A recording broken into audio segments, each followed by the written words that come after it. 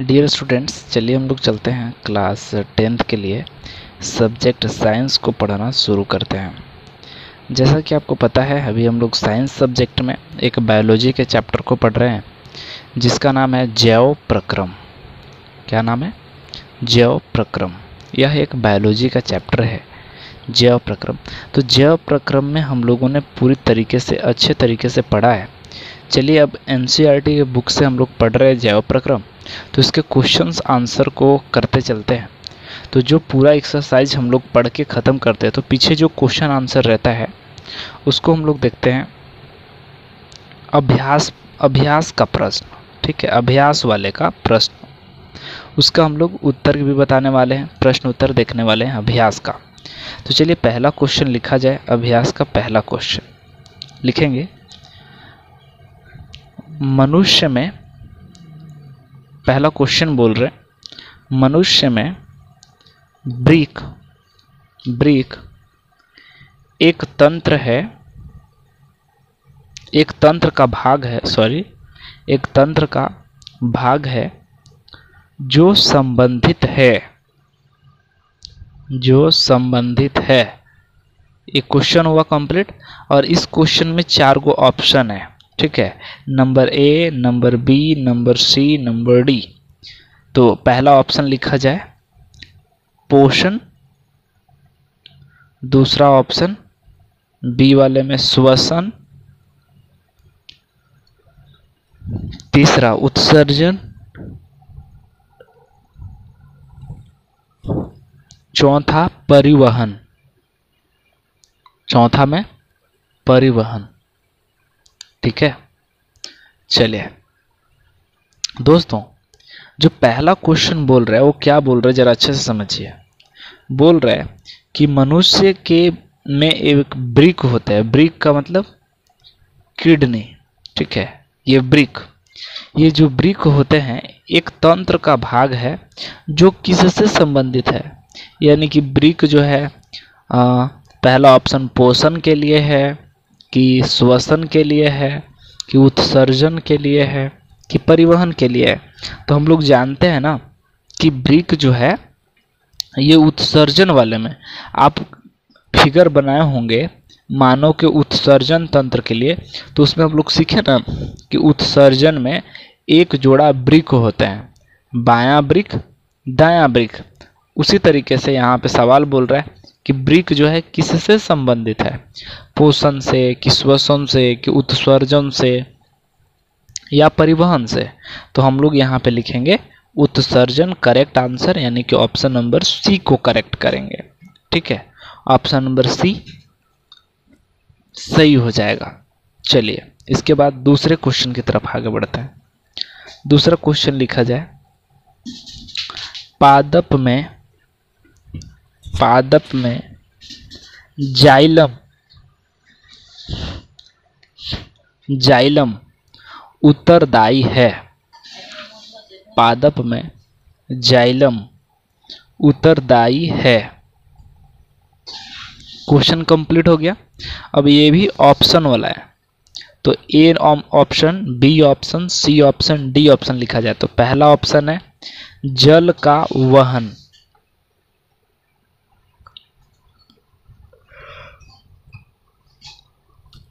जल का वहन। दूसरा में बी नंबर ऑप्शन भोजन का वहन। भोजन का वहन।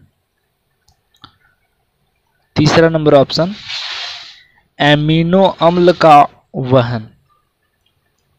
अमीनो अम्ल का वहन। और चौथा ऑप्शन लिखिए जा, लिखा जाए ऑक्सीजन का वहन। ऑक्सीजन का वहन। देखिए, बोला गया क्वेश्चन को अच्छे से समझिए। पादप में एक जाइलम होते हैं, जाइलम उत्तक होता है, ठीक है? हम आपको बताए भी थे कि पादप में जब हम लोग पढ़ रहे थे तो पादप में वहन किसके माध्यम से होता है? तो जाइलम और फ्लोएम उत्तक की वजह से। जाइलम का काम क्या है दोस्तों? कि पेड़ पौधों में जड़ों से, जड़ों द्वारा मिट्टी से पानी को सोखकर पूरे शरीर में जल को फैलाना, ये किसका काम है?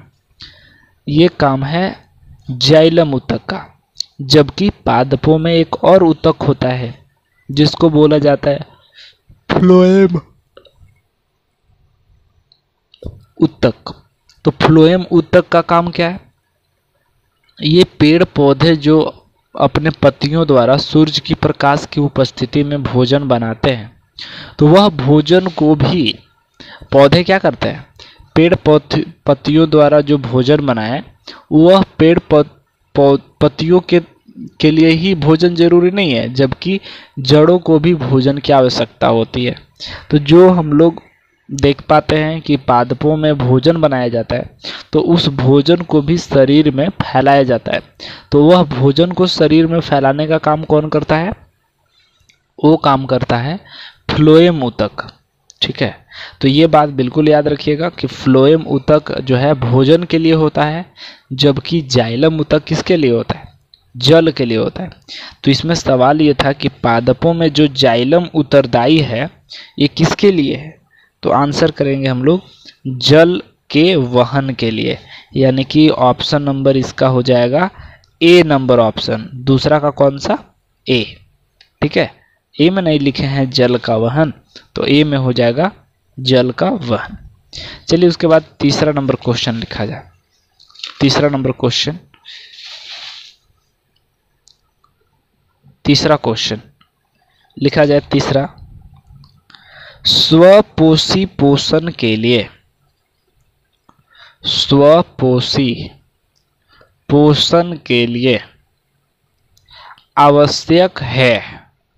ये क्वेश्चन कंप्लीट हो गया। क्वेश्चन क्या बोला? स्वपोषी पोषण के लिए आवश्यक है। अब क्या आवश्यक है भाई? तो पहला ऑप्शन लिखा जाए। पहला ऑप्शन कार्बन डाइऑक्साइड तथा जल। पहला ऑप्शन में, कार्बन डाइऑक्साइड तथा जल। दूसरा ऑप्शन में, क्लोरोफिल। क्लोरोफिल। तीसरा ऑप्शन, सूर्य का प्रकाश। सूर्य का प्रकाश। तीसरा ऑप्शन सूर्य के प्रकाश हो गया।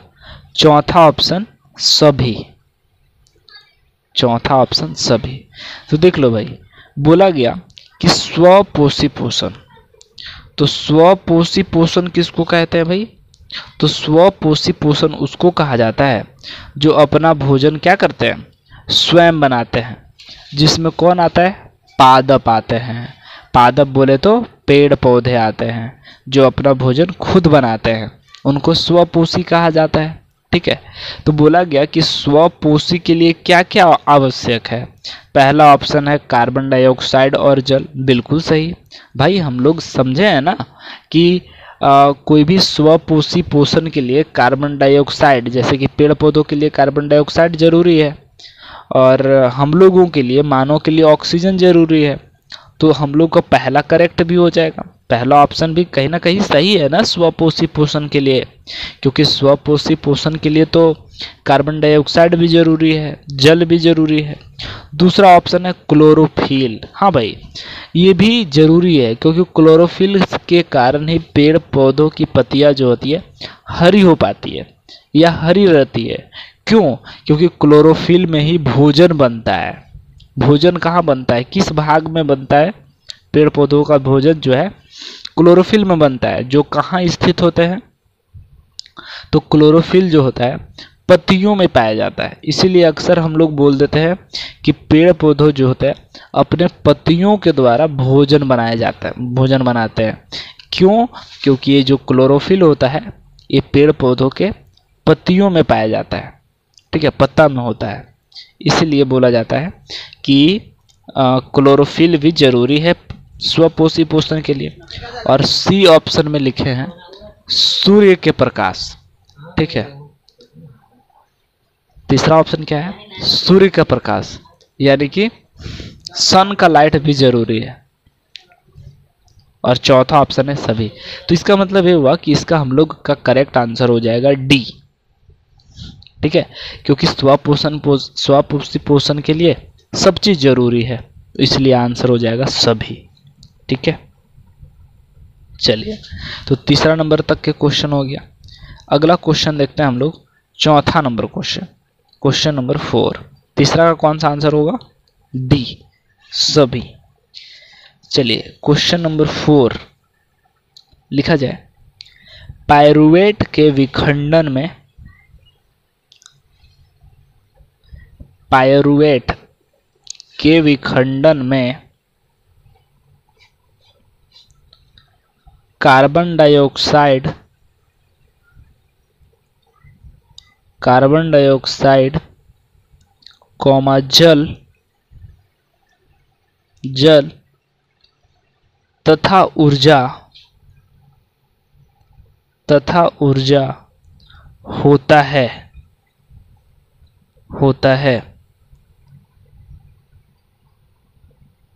और यह क्रिया होती है। और यह क्रिया होती है। पहला ऑप्शन है कोशिका द्रव्य। कोशिका द्रव्य। दूसरा ऑप्शन है माइट्रोकॉन्ड्रिया। दूसरा ऑप्शन माइट्रोकॉन्ड्रिया। तीसरा ऑप्शन, हरित लवक। हरित लवक। चौथा ऑप्शन, केंद्रक। चौथा ऑप्शन, केंद्रक। ठीक है। चलिए तो हम लोग बात कर लेते हैं कि पैरुवेट का विखंडन दोस्तों कहाँ होता है। तो हम लोग सीखे हुए हैं कि पैरुवेट का जो विखंडन होता है वो होता है माइट्रोकॉन्ड्रिया में। आपको बताए भी थे कि पैरुवेट का विखंडन कहाँ होता है? माइट्रोकॉन्ड्रिया में। और कब सीखे थे? जब हम लोग पढ़े थे ना कि एक ग्लूकोज से ऊर्जा प्राप्त करने का तीन मेथड है। ठीक है? एक होता है वायु के उपस्थिति, एक अभाव में और एक अनुपस्थिति में। ठीक है? तो कुल मिलाकर वहाँ पे आप देखेंगे कि पैरुवेट में का जो विखंडन होता है वो कहाँ होता है? तो माइट्रोकॉन्ड्रिया में। तो इसलिए इसका आंसर हो जाएगा करेक्ट आंसर इज़ बी याद रखिएगा कि पैरुवेट का विखंडन जो होता है वो कहाँ होता है? माइट्रोकॉन्ड्रिया इस तरीके से चौथा क्वेश्चन तक के हम लोग किए। पांचवा क्वेश्चन लिखा जाए क्वेश्चन पांचवा क्वेश्चन लिखा जाए।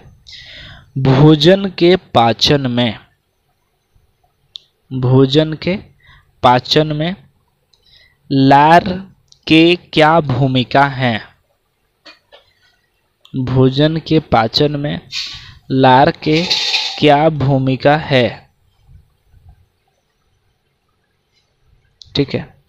चलिए, अब हम लोग देखेंगे कि आखिर भोजन के जो पाचन होता है, उसमें लार का काम क्या है? हम लोग हालाँकि सीखे हुए हैं कि लार में एमिलेस एंजाइम पाया जाता है या लाइपेज एंजाइम पाया लाइपेज नहीं एमिलेस एंजाइम ठीक है, लार में होता है। तो ये जो एमिलेस एंजाइम होता है, ये किसके लिए उपयोगी है? और हाँ हम लोग सीखे भी हुए हैं कि जब हम लोग भोजन को चबाते हैं तो चबाने के लिए तो मेरा दांत काफ़ी है। जब भी भोजन करते हैं तो भोजन को छोटे छोटे टुकड़े करने के लिए क्या करता है? दांत उसको हावी होता है। दांत काम करता है, भोजन के छोटे छोटे टुकड़े कर देते हैं, ताकि भोजन को नली से गुजरने में कोई दिक्कत नहीं हो। और दूसरी बात कि हमारा जो जीव है, जीव से लार स्रावित होते हैं और उस लार में एमिलेस एंजाइम पाया जाता है। उस लार से पूरा भोजन क्या होता है? गिल्ला हो जाता है, चिपक जाता है। ठीक है? बुरा चिकना हो जाता है भोजन। किसके वजह से? लार के वजह से। तो लार के वजह से जो भोजन चिकना हो गया भोजन में मिलकर तो उसको नली से गुजरने में कोई दिक्कत नहीं होगा, क्योंकि आसानी से फिसल सकता है। इसलिए लार का काम है भोजन को, के साथ मिलकर भोजन को चिकना करना। ठीक है? तो चलिए, जो क्वेश्चन लिखे हम लोग कि भोजन के पाचन में लार की क्या भूमिका है, इसका आंसर लिखा जाए। लिखा जाए इसका आंसर, हमारे शरीर में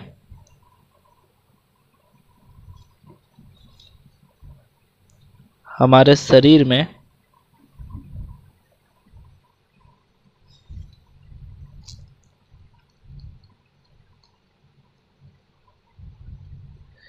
ओ सेट सॉरी क्वेश्चन गलत हो गया। पांचवा क्वेश्चन उल्टा लिखा गया, ज़रा इसको सुधार लीजिएगा आप लोग। जो पांचवा क्वेश्चन है ना, वो हम छठे क्वेश्चन बोल दिए ना। छठा क्वेश्चन आपको बोल दिए। तो चलिए इसको प्लीज़ काट लीजिए और फिर पांचवा क्वेश्चन हम दोबारा से बोलते हैं। पांचवा क्वेश्चन दूसरा है, हमारे शरीर में ये क्वेश्चन बोल रहे हैं, पांचवा क्वेश्चन वो छठा क्वेश्चन बोला गया था, ठीक है? छठा क्वेश्चन दिख गया था। इसकी वजह से गलती हो गई। पांचवा क्वेश्चन लिखा जाए, हमारे शरीर में वसा का पाचन कैसे होता है? और यह प्रक्रम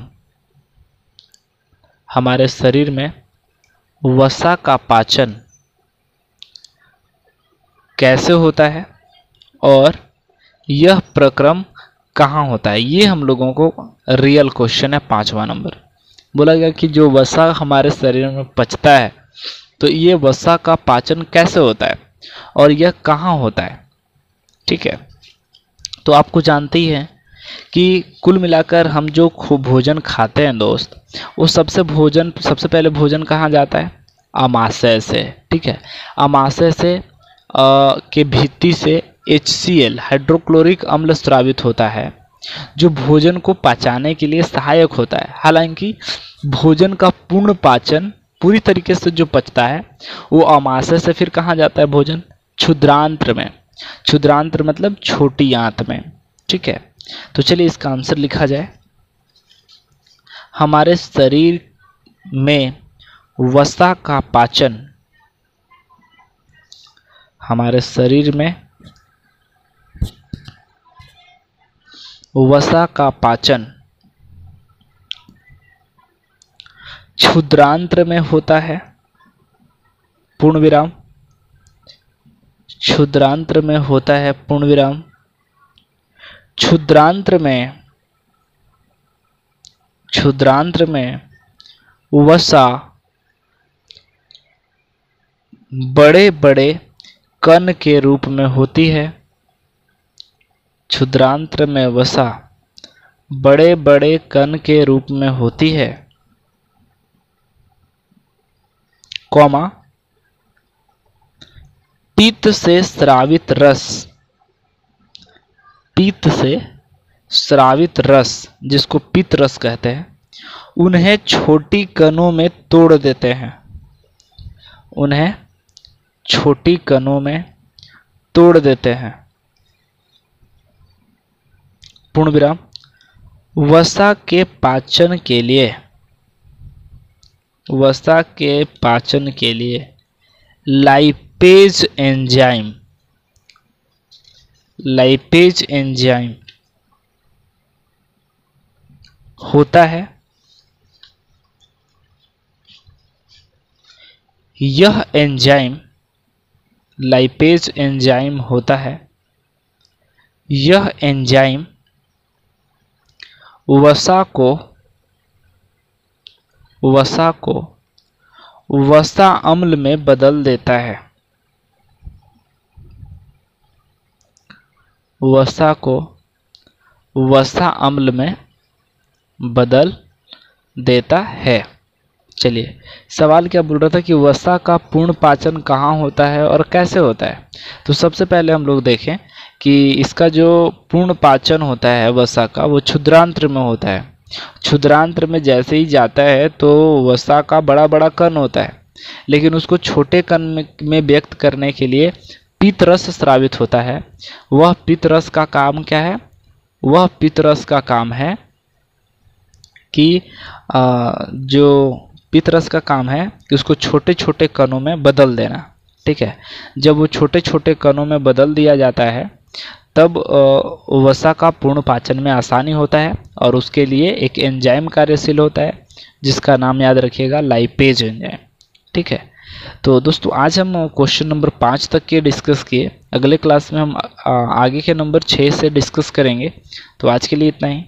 फिर मिलते हैं अगले क्लास में। तब तक के लिए धन्यवाद।